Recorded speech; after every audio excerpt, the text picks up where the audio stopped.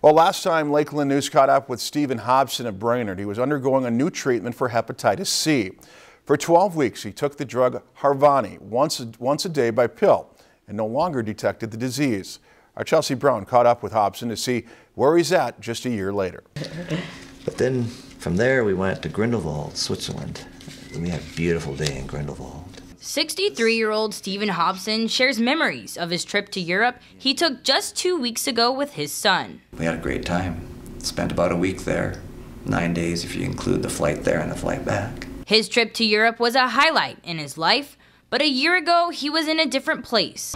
It was pretty much just kind of being bummed out and still continuing to realize day by day that I still had this disease. Hobson was living with hepatitis C.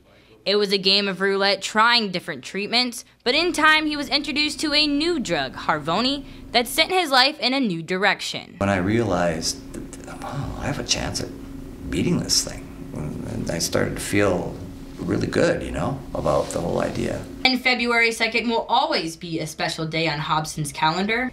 It's the day he went in for his yearly treatment to begin his new medication, and it's also the day he landed in Munich, Germany to celebrate being one year cured of hepatitis C. I think that from here on out, I'm going to try to remember Groundhog Day as being a day that I should remember because it's significant. It's the day that I started the treatment that you know, gave me my life back. Although he doesn't have plans as of now to honor February 2nd of 2017, he hopes his story spreads awareness of this disease. And that there is hope for people that, that may be affected by it. In Brainerd, Chelsea Brown, Lakeland News.